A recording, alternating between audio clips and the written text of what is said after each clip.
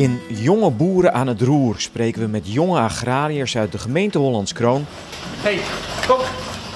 Die in de voetsporen van hun ouders durven te stappen. Met alle moderne uitdagingen die op de loer liggen.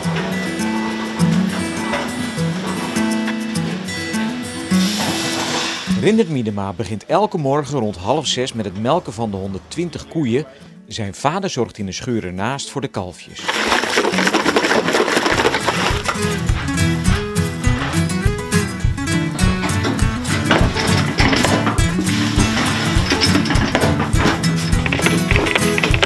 We worden het, uh, we boeren hier alweer uh, een paar jaar, uh, mijn vader samen en ik. En, ja, we hebben het, ik ben wel blij zoals, het, zoals we het voor elkaar hebben.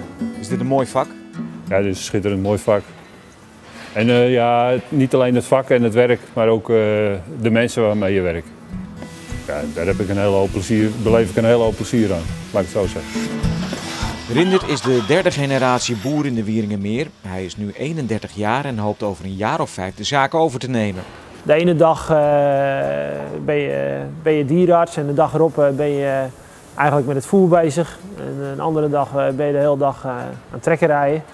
En ja, ik hou er niet van om dagen achter elkaar hetzelfde te doen. Maar als we dan hetgene doen wat we aan het doen zijn, wil ik daar graag wel nou ja, goed, echt wat werk verzetten. Nou, als we dat voor elkaar hebben, dan, ja, dan word ik blij van. Wist je het als kleine jongen al, van ik wil mijn vader opvolgen? Vanaf mijn eigenlijk einde van de middelbare school, toen wist ik echt wel zeker van uh, als je de keuze maakt, dan, uh, dan is het, het is niet per se een makkelijke keuze. Het is een makkelijke keuze omdat mijn vader boer is. Maar uh, zeg maar om het werk dan ook de rest van je leven te doen, dat, is dat, dat, dat moet je serieus over nadenken. Ja. En, dat, en ik, vanaf dat moment wist ik zeker dat ik dat wilde doen. Het vak kent altijd uitdagingen, Het voldoen aan de fosfaatrechten was er zo een. Een strenge maatregel van de overheid. Uh, eigenlijk heb ik altijd het idee gehad van uh, de boeren die uh, altijd alleen maar zeggen dat ze last van de overheid hebben. Daar heb ik wel eens een beetje moeite mee. Maar goed, ik moet eerlijk zeggen dat ja, de laatste paar jaar hebben we wel bewezen dat, dat de overheid een hele onbetrouwbare partner is.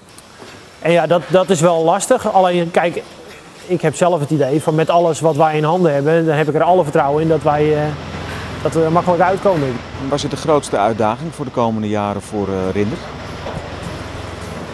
Nou, eerst de bedrijfsovername. Ik denk dat dat uh, wel een grote uitdaging is. En uh, ja, het, het, het, arbeidsplaatje is ook wel. want ja, stel dat ik wat minder ga doen of minder kan doen, dan wordt het arbeidsplaatje ook wel even wat anders om in te vullen. Maar voor de rest, ja, ik denk uh, met zijn enthousiasme en, uh, en de contacten die hij heeft, dat, het gewoon, uh, dat, dat hij daar zich wel mee gaat redden.